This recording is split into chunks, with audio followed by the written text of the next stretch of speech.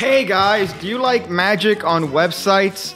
Well, I got just a website for you, pigcake.me.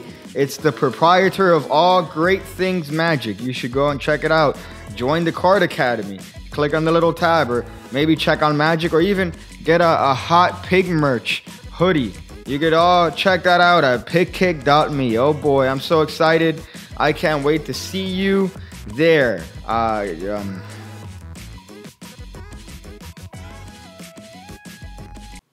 nuts. Hey, hey guys, crazy comments on my demon magic video here with another crazy magic tutorial. You guys like magic? Well, I like uh, magic too, which is why I'm gonna show you guys a little bit of a of a coin trick. You guys like coin tricks for some odd reason. So today I'm gonna show you one using a coin and uh, and a Sharpie marker. Oh boy, I'm so excited. Now the coin itself is one of these super edgy, specially made coins by people with eyeliner problems. Now, of course, the design of the coin doesn't reflect the eyeliner problem, but uh, just know that's who made it. So for this, uh, we're actually gonna use the, uh, the, the Sharpie marker as a uh, magic wand. So if we just give a little bit of a wave, Weinstein, Weinstein, it, uh, it actually disappears. Uh, the coin completely disappears. It didn't go far though. It's actually inside of the cap. You can't see it because the camera is out of focus. But believe it or not, see if we just uh, take the coin out of the cap, it comes out, um, which is weird because it doesn't fit in the. Uh, oh boy, that's uh, that's a good one. That's a good one. Hello there, friends. You guys want to know how it's done? Well, you're gonna need a coin and a pen. Uh, it could be any pen, but just make sure that the pen has a cap on it, uh, like a Sharpie marker. And if you want, you could even do one of these. You could do one of one of. oh fuck! All right, uh, you could do one of those uh, just to get you in the magic mood. ah, so uh, for this, you're gonna need to put the pen under your armpit, and you're gonna need to execute a false transfer and a Goshman pinch. Uh, a Goshman pinch is not a move that you do in your bedroom when your mom's not home. uh, it's actually a technique to hide a coin in the back of your hand. That's what a Goshman pinch is. It's named after uh, Al Goshman, who's actually a proprietor of sponge balls. So if you use sponge balls, you should thank good old Al Goshman. However, uh, he's he's dead. Uh, he died because he made uh, the sponge balls. That's actually true. So anyways, you're going to use his pinch to hide the coin behind your hand. Uh, now, a little bit of uh, touches on this particular move. Now, the Goshman pinch is one of those moves that people are afraid of uh, just because they have bad experiences getting into it. But uh, it's not that hard of a move to get. And uh, let's just go into the actual details here. So for this, you're gonna hold the coin in your fingertips. You see the positioning here. What's gonna happen is that you're gonna close your fist. However, the coin is going to ride along behind the knuckles. You see that? You see that hot action here? It's gonna ride behind the knuckles because the thumb is actually gonna maneuver it to right there between the ring finger and the pinky. Now, the problem that a lot of people tend to have with this move is that the coin ends up being clipped uh, straight, which it can't be because uh, your angles would suck. So this move, you need to actually pinch it at an angle. You see how the coin ends up being pinched at an angle, that's the exact position where you need it to be. So to get into that position, you're gonna maneuver that coin behind your knuckles. It's here between the ring finger and the pinky. The pinky is gonna move up and clip it just like that and let go with the thumb. You see it's clipping it between the ring finger and the pinky just like this and it's gonna let go and your hand's gonna open up. Now you don't want your pinky to be too in because if not, then the pinky disappears and that's a different, uh, that's um, so this is the right position to have. The coin is at an angle just like this in the back of your hand and it's not going to be seen from the front. So one more time to get into there, you're just going to push the coin behind your fingertips, lift your pinky up like it's some sort of fancy Victorian uh, brunch and then you're going to drop your pinky down like it's uh, fifth grade prom and you don't know what to do. And when you clip, you're like going to let go of the thumb and the coin's gonna get clipped behind the hand there.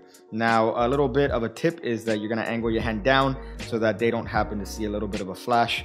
If it's uh, a smaller coin like a quarter, you're not gonna have an issue with any sort of edge bleeding through uh, your fingertips there, but that's the position you wanna be in. Uh, and you're gonna need to do a false transfer. You can insert your favorite false transfer here, but you're going to uh, draw attention to the pen and the coin. You're gonna put the pen underneath your left armpit, uh, much like a magic wand. If you still carry around a magic wand in 2018, you should. Uh,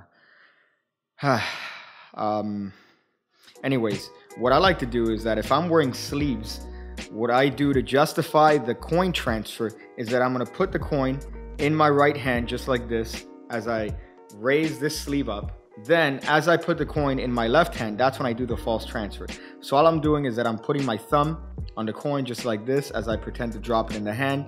Uh, do a little bit of a tossing motion as I lift my sleeve up and simultaneously grab the marker. So at speed, it should just look like I'm raising my sleeves and grabbing the pen at the same time. And at this point, you could wave the uh, marker over the hand and the coin apparently disappears. If you don't want to do that, then you can just transfer the coin in your hand as you go and grab the thing from underneath your armpits. So you could wave, uh, do whatever magical sort of uh, name you want. You could go, hey, uh, Harvey Weinstein, you're in jail and you're going to die there. Um, and then your hand is uh, empty. But you say, look, it's actually not disappeared. It went inside of the cap. So this is going to be the misdirection you need to uh, draw attention to the cap while your hand is doing the dirty work down here. So this hand is putting the coin in Goshman pinch so that when I come up to remove the cap, my hand is shown empty. You see that? So this hand is shown empty. This hand is shown empty. So you could remove the cap with the coin. You could drop it on the table or just keep it in the hand here. And what's gonna happen is that you're gonna drop that coin from behind the hand.